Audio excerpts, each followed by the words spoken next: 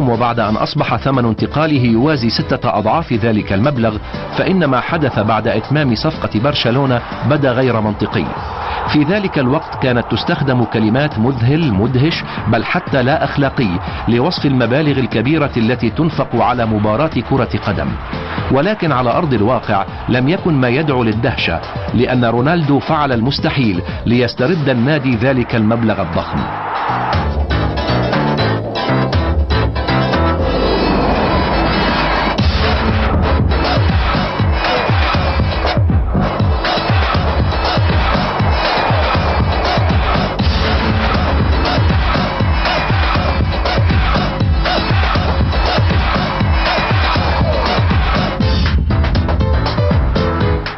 في كل مباراة كانت تكتب صفحة جديدة في كتاب تاريخ كرة القدم خصوصا تلك الأهداف الثلاثة التي لا تنسى والتي سجلها رونالدو في أتلتيكو مدريد في كأس ملك إسبانيا كي يعادل فريق برشلونة الأهداف الثلاثة التي سجلها فريق أتلتيكو سابقا.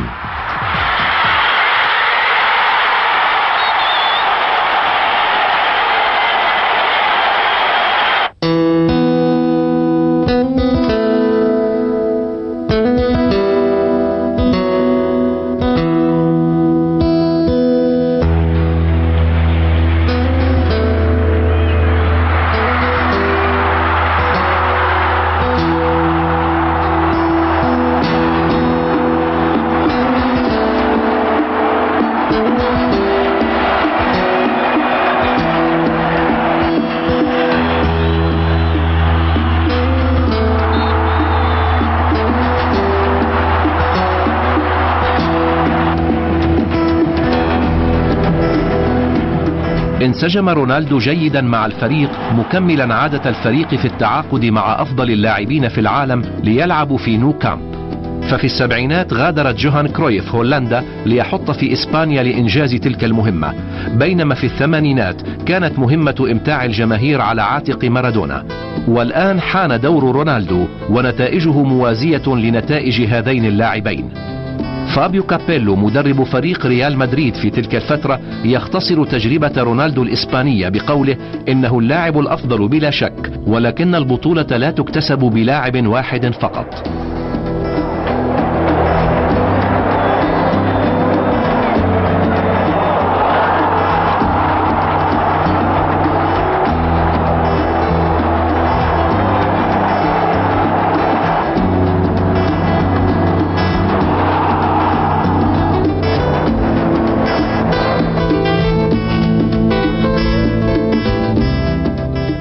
موسم 96 97 قدم اللاعب الظاهرة أفضل أداء له فتصدر الهدافين ب 34 هدفا في 37 مباراة فكان لاعبا استثنائيا بلا منازع.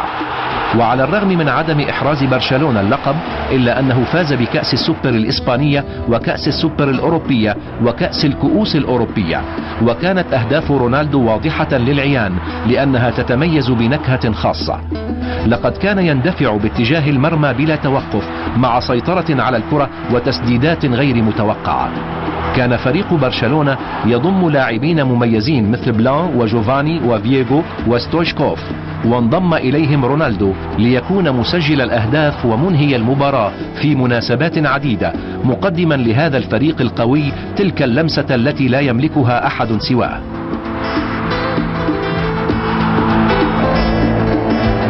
انطلقت أسس الفوز بالكرة الذهبية عام 97 من هنا. فالرئيس آينز يأمل بالاحتفاظ برونالدو إلى أن ينهي مسيرته الرياضية وتوقيع عقد جديد لهذا البطل ينتهي في عام 2006 فكانت هذه أفضل فرصة لجذب انتباهه عن البطولة الأوروبية والانتقال إلى الدوري الإسباني. بدت مسيرة البطل البرازيلي صامدة ولكن في عام 97 ظهرت أولى الصعوبات بين رونالدو وإدارة برشلونة.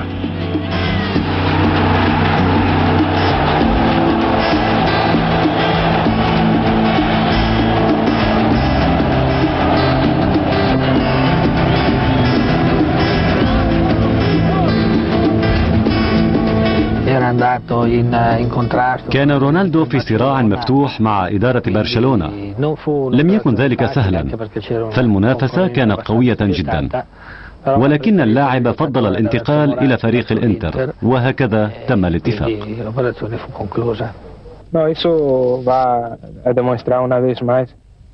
أريد أن أخبر جمهور برشلونة مرة أخرى عن سبب مغادرتي. يمكنهم قول ما يشاءون ولكن العقد ينص على أنني أملك خيار الانتقال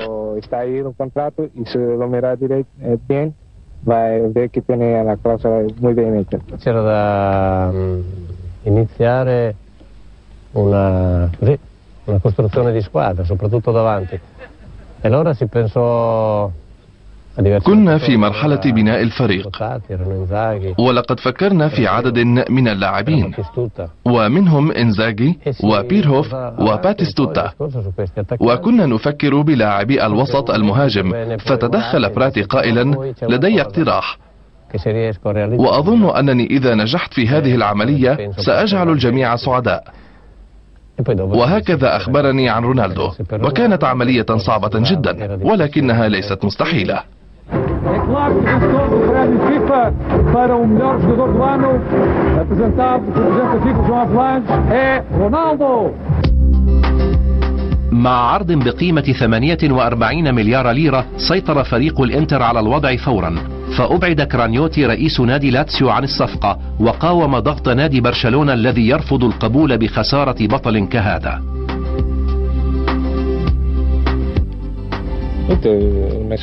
واقعا. هذا أول فريق أردت الانتقال إليه في أوروبا. فأنا لم أشأ البقاء لأكثر من عام أو عامين في هولندا. بعد ذلك جاء برشلونة. ولكن فريقي المفضل كان الإنتر. هذه هي الحقيقة.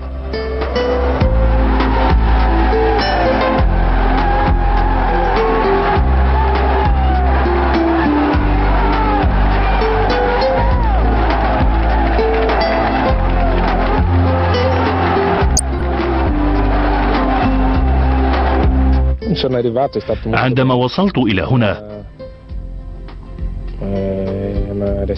شعرت بالرهبة. حيث الترحيب والمحبة جعلاني أشعر بأنني هام فعلا.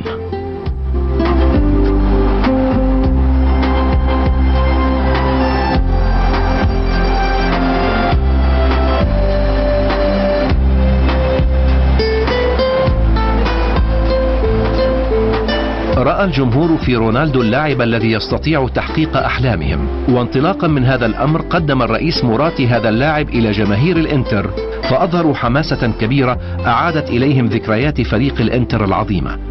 اكتسب رونالدو محبة الجميع فورا وظهرت هذه العاطفة بعد الإصابة البليغة التي عانى منها في شهر أبريل نيسان عام 2000 حيث تمنت له جماهير العالم الشفاء السريع على أمل مشاهدته قريبا على أرض الملعب.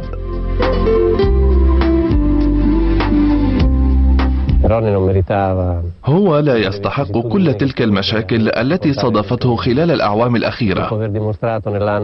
عندما كنت مع الإنتر أثبت أن لديه قدرة هائلة لحل كل المشاكل.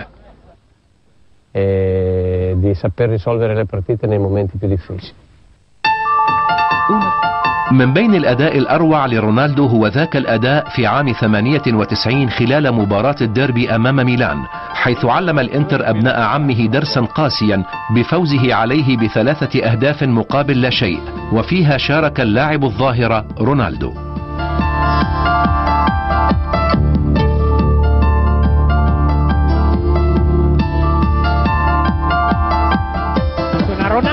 تسديدة من رونالدو تمر بمحاذاة القائم ويضيع هدف لفريق الإنتر. هذا هو رونالدو.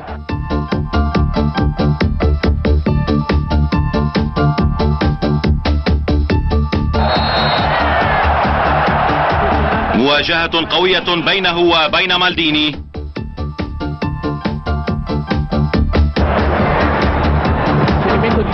تمريرة طويلة من الخلف تصل إلى مورييرو وتسديدة إلى خارج المرمى. كرة طويلة جدا إلى رونالدو! رونالدو يسجل هدفا رائعا جدا. يا لهذا اللاعب. إنه لاعب ذهبي. إنه رونالدو لقد أشعل الجماهير. انظروا جيدا. لقد أشعل المدرجات. اللاعب رونالدو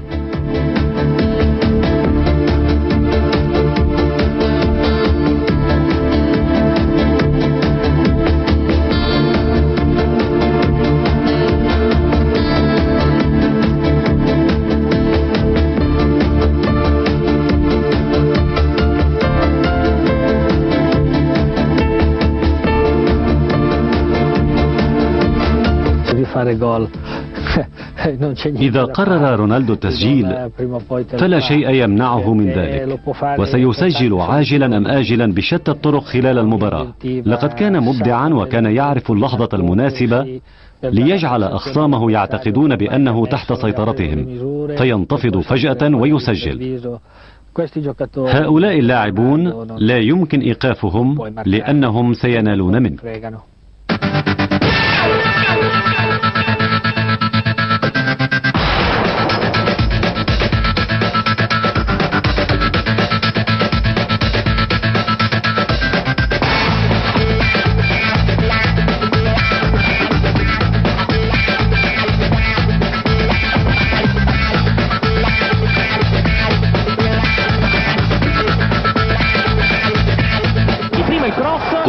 مرتدة من الدفاع تصل إلى رونالدو الذي يراوغ داخل منطقة الجزاء. يفقد الحارس الكرة. ومن جديد ومن جديد رونالدو. تسديدة إلى الخارج.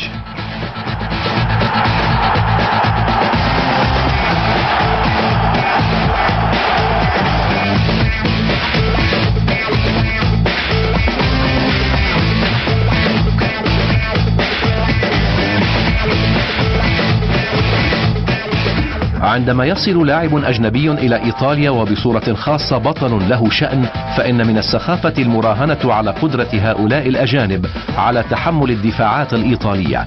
ولكن رونالدو أزال كل الشكوك المحيطة به وأظهر عدم خوفه من أي مدافع. وهكذا كان من المستحيل تقريبا إيقاف لاعب يملك مثل هذه السرعة والمهارة والتناسق.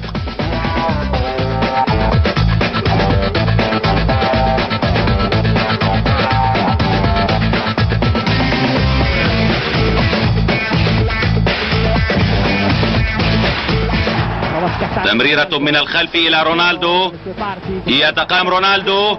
يتقدم وتمريرة إلى الداخل وهدف. هدف جميل جدا من اللاعب جوركايف يسدد رونالدو وهدف. تسديدة رائعة جدا من اللاعب رونالدو.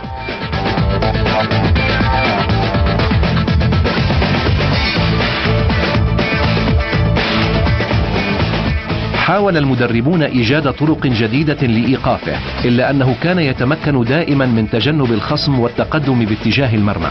معدل أهدافه مؤثر وبحدود هدف في كل مباراة تقريبا. وفي نهاية البطولة تمكن من تسجيل 25 هدفا في 35 مباراة. ولقد حل خلف بيرهوف مهاجم أودنيزي ب 27 هدفا.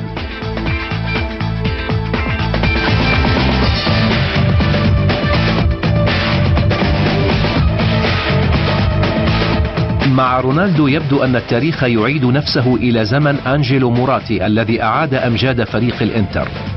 في ذلك الوقت كان لويس سواريز نجم الفريق والزعيم الأساسي لمجموعة من الانتصارات المذهلة في إيطاليا وأوروبا وكل أنحاء العالم. بعد صفقة شراء رونالدو تبع ماسيمو خطى والده موراتي كان عام 98 عام العواطف الصاخبة حيث خسر الإنتر البطولة أمام خصمه فريق جوفنتوس بطريقة مثيرة للجدل وبتعليقات مريرة من رونالدو. لقد كانت ركلة جزاء. فقط الحكم لم يرها. وبعد قليل كنا نستحق ركلة جزاء أخرى. ولكن في كلا الحالتين انحاز الحكم لفريق جوفنتوس. بالنسبة لي يمكن للبطولة أن تستدعي بطاقة أخرى ولكن يجب أن أقول ذلك لأن الجميع شاهدوا ركلة الجزاء ولا يمكن أن تستمر الأمور هكذا.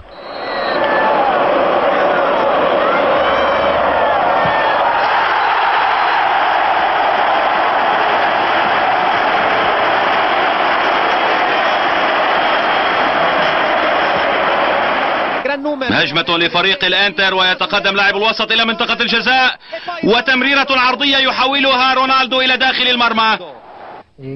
في روسيا وفي مواجهة عنيفة كان القرار بعدم إشراكه في المباراة حتى قبل نصف ساعة من بدء المباراة. وفي لحظة ما رأى رونالدو بأن الوقت قد حان لإنهاء المباراة فبدأ يتقدم بطريقة متعرجة.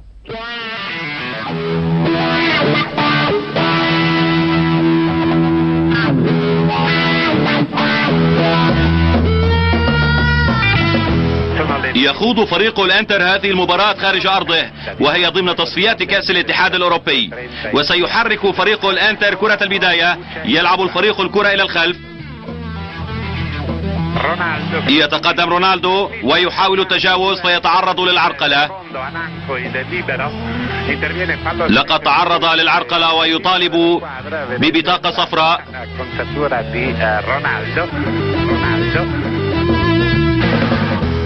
كالعادة يظهر رونالدو أفضل ما عنده في المباريات الدولية. وفي كأس الاتحاد الأوروبي 97 98 أظهر الكثير من المهارات.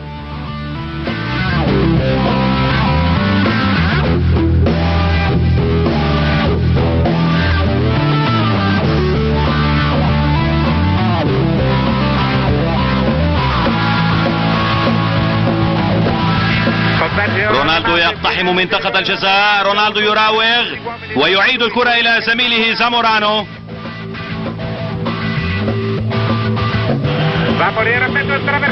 تسديدة وهدف! هدف جميل جدا من رونالدو. وهدف رائع لفريق الإنتر. يثبت اللاعب رونالدو أنه من اللاعبين المميزين وهو مكسب كبير لفريق الإنتر. الهدف الأول من توقيع اللاعب رونالدو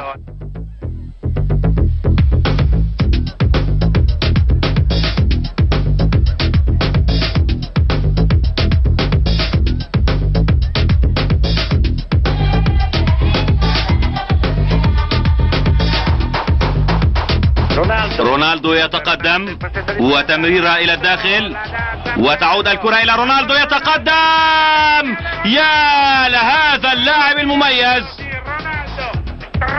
رونالدو انظروا جيدا. تخطى الحارس وسدد برجله اليسرى وأشعل المدرجات. يا له من أداء مميز لهذا اللاعب المميز. وفي مباراة مميزة أيضا. لقد ضمن الإنتر فوزه في هذه المباراة. نحن نشاهد إعادة للمجهود الرائع لرونالدو وكيف تمكن وببرودة أعصاب تامة من تخطي الحارس وإيداع الكرة في المرمى.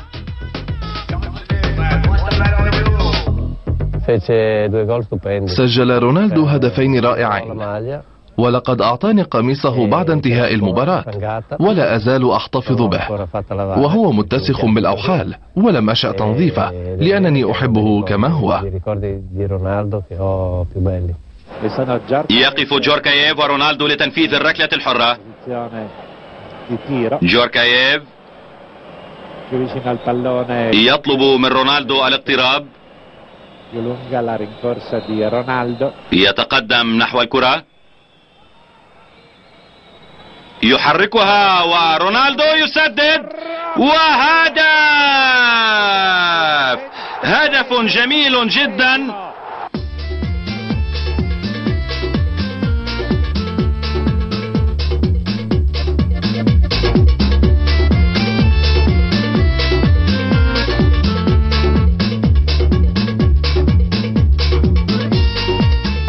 بعد موسم أول رائع كان موسم رونالدو الثاني حافلا بالعقبات المختلفة فالإصابات المتكررة أجبرته على الابتعاد عن الملاعب مما ترك تأثيره على أداء الفريق وانتهى الموسم من دون تحقيق الإنجازات المتوقعة.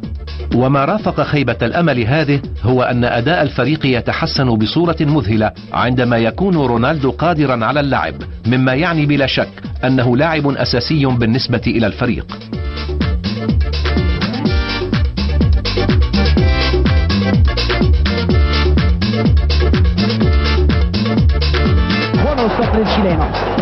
تمريرة في العمق إلى رونالدو الذي يسدد ويسجل هدفا رائعا للإنتر.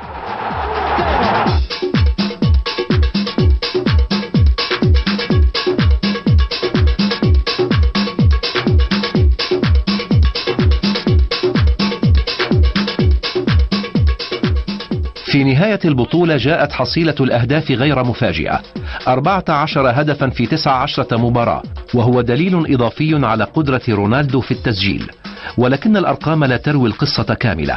فخلال موسم 98 99 كانت مشاهدة رونالدو أثناء اللعب تعد متعة مع زميله روبرتو باجيو وزامورانو حيث تخلى له الأخير عن قميصه رقم تسعة الغالي. يجسد رونالدو جمال مباراة كرة قدم والعالم كله يدرك ذلك ويقر له بالفضل.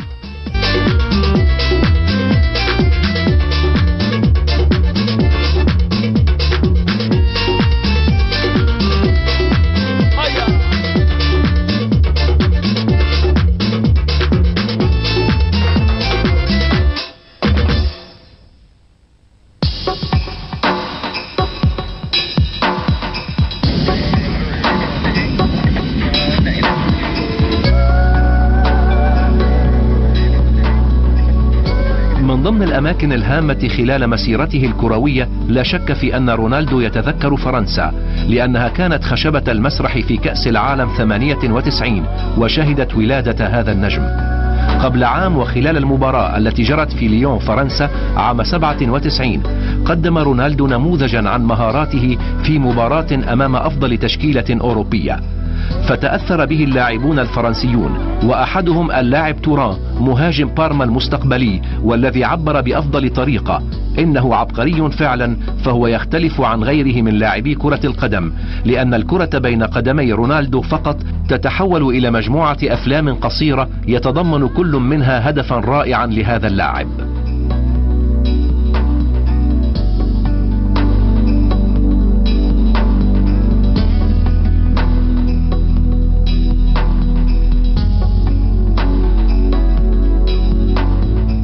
تسديدة رائعة من رونالدو ترتد من قدم المدافع وترتطم بالقائم إلى خارج الملعب.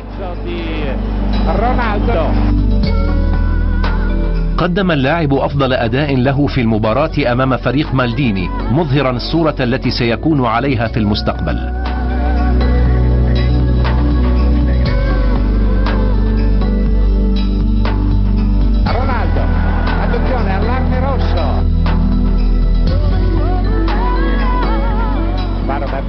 يتقدم رونالدو. ويسدد برجله اليمنى وهدف. هدف جميل جدا. لقد فاجأ الحارس. كانت التمريرة من روبرتو كارلوس. هدف ملعوب للمنتخب البرازيلي. لا يمكن لأي لاعب دفاع أن يضع حدا لهذا اللاعب.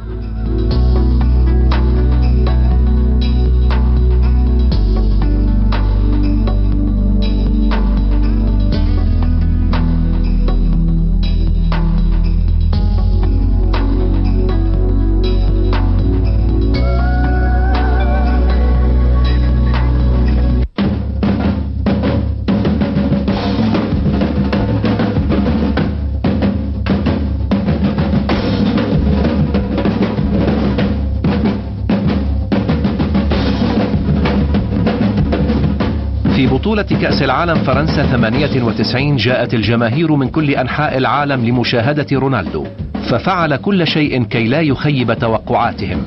وأول ظهور لأدائه المميز جاء في الشوط الثاني أمام المنتخب المغربي. تمريرة من بيبيتو إلى ريفالدو ومنه إلى رونالدو الذي يسدد مباشرة في المرمى وهدف رائع لهذا اللاعب المميز. رونالدو هو من اللاعبين الذين يصعب توقع حركاتهم وهو من ألمع اللاعبين في هذا المونديال. انظروا إلى هذا الهدف الرائع.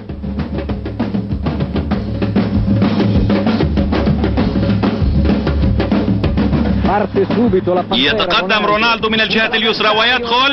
وهدف رائع من بيبيتو. في الجولة الثانية من البطولة جاءت أول مباراة بين منتخبي البرازيل وتشيلي حيث واجه رونالدو بطلا مميزا آخر هو زامورانو نجم نجوم تشيلي. وفازت البرازيل بأربعة أهداف مقابل هدف واحد.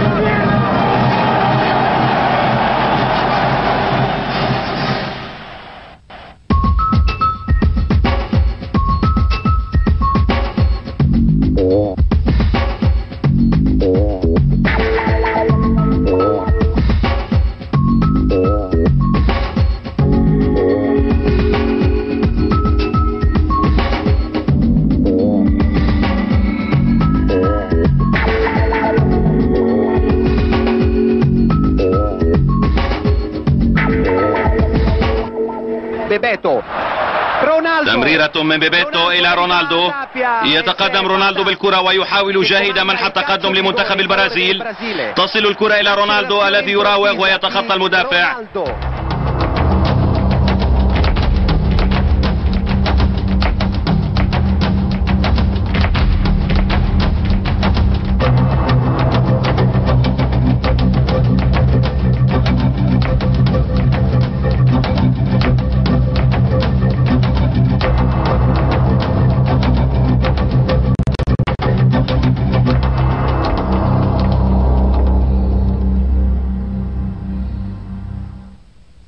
palla per Ronaldo, il destro di Ronaldo, palo. تمريرة إلى رونالدو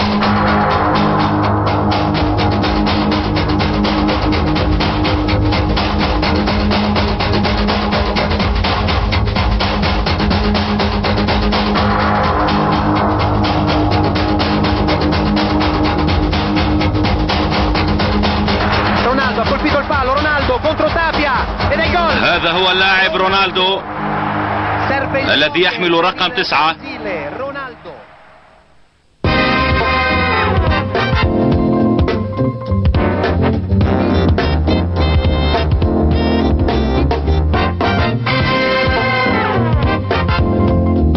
في المرحلة الثالثة البرازيل في مواجهة الدنمارك ويفوز المنتخب البرازيلي بصعوبة بثلاثة أهداف مقابل هدفين ولا يسجل رونالدو.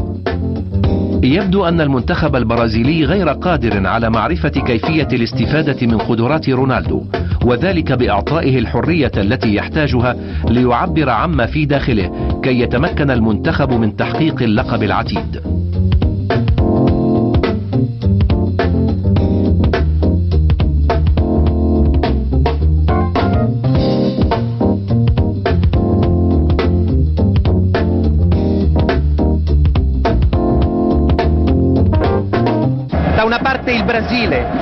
يدخل المنتخب البرازيلي أرض الملعب وكله أمل في تحقيق الفوز. ولكن عليه أن يتخطى منتخبا قويا هو المنتخب الهولندي الذي يضم مجموعة من اللاعبين المميزين. ليس الوقت الآن للتجارب لأن ساعة الحقيقة قد وصلت وعليهم مواجهة المنتخب الهولندي في مباراة نصف النهائي حيث يلعب بيركامب. لقد أثبت المنتخب الهولندي قدرته طوال مباريات البطولة وهذه المباراة صعبة. لم يحدث ما يذكر في الشوط الأول ولكن الشوط الثاني كان مفتوحا على كل الاحتمالات. تبادل للكرة بين بيبيتو ورونالدو وهدف التقدم للمنتخب البرازيلي يسجله اللاعب رونالدو. وها هو يتقبل التهنئة من زملائه ليوناردو وبيبيتو. في مثل هذه المناسبة لا نجد أفضل من اللاعب رونالدو ليلهب حماسة الجماهير. انظروا إلى هذه الجماهير التي احتشدت لتشاهد هذا النجم المميز. لقد فشل فرانك دي بوير لاعب المنتخب الهولندي في إيقاف رونالدو. رونالدو بلياقته البدنية العالية وبراعته يتمكن من تخطي الحارس ويسجل هدفا غاية في الروعة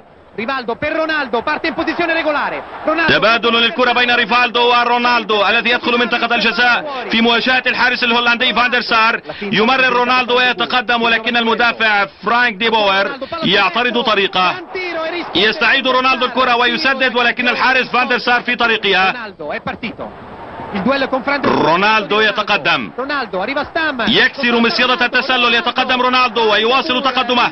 وتدخل جيد من فرانك دي بوير ويسقط رونالدو على الأرض.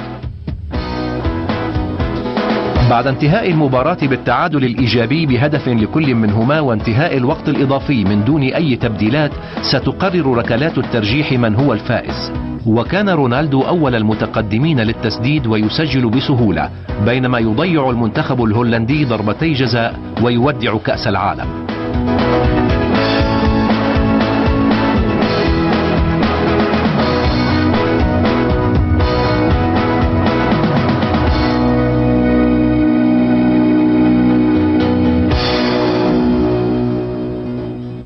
الكثير وكتب عن المباراة النهائية بين منتخبي فرنسا والبرازيل.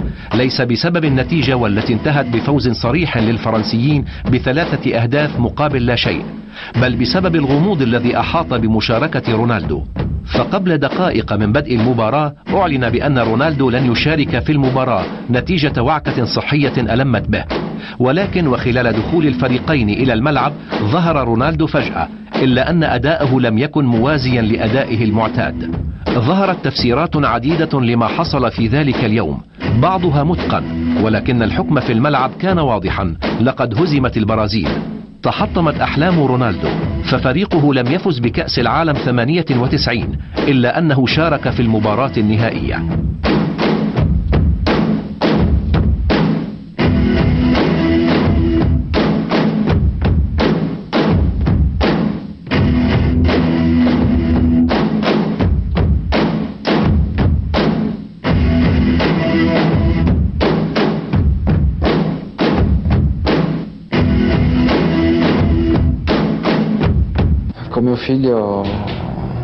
أنا ألعب كرة القدم مع ولدي. وكما تعلم يشاهد الجميع بطولات كأس العالم. حينها كان صغيرا. إلا أنه يعرف رونالدو جيدا وحاول تقليده. إنه يحب لعبة كرة القدم كثيرا.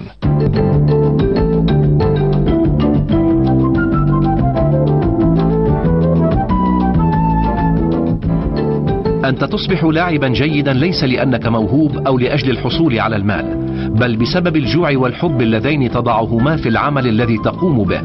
عندما كنت صغيرا كنت أعاني من الأمرين. أما اليوم ولحسن الحظ فأنا لم أعد أعاني من الجوع ولكنني ما زلت أحب عملي. من كل الأحاديث التي صرح بها رونالدو هذا أهم تعليق قدمه. ففي حياته العادية يحب رونالدو إظهار رجولته وإنسانيته وبأن المال الذي يملكه الآن لم يجعله ينسى المكان الذي أتى منه. فهو يعلم أن في البرازيل وكما في بقية دول العالم هناك الكثير من التعساء الذين يملكون القليل القليل ليعيشوا حياة كريمة وشريفة. من أجل ذلك شارك في عدد من الأعمال الخيرية وبشكل خاص تلك المتعلقة بالأطفال. ولهذا أطلق عليه اسم سفير اليونيسف.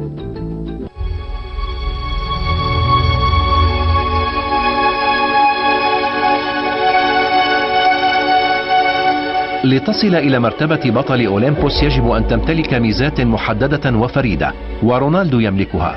فهو مثال استثنائي يجمع القوة البدنية والسرعة الخارقة والمهارة العالية والذكاء في الخطط.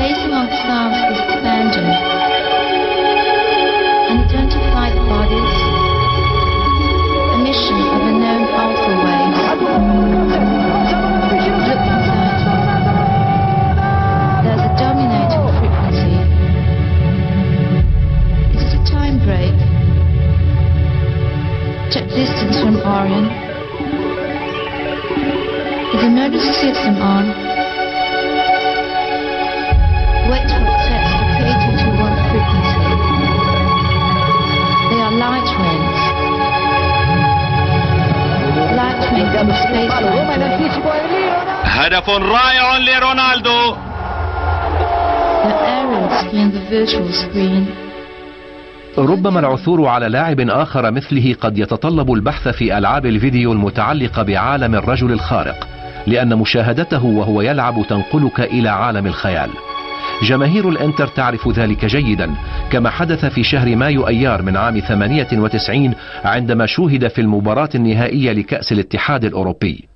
ففي إحدى المرات وفي نهاية مباراة ودية مع البرازيل غادر بيركنسون حارس مرمى المنتخب الإيرلندي متصلب العنق وشرح كيف حدث ذلك بالقول إنها غلطة رونالدو فأنا لم أستطع متابعة حركاته السريعة وهكذا ومن أجل كرة القدم العالمية يمكننا فقط أن نتمنى ظهور المزيد من حراس المرمى في المستقبل وهم يتذمرون لهذا السبب.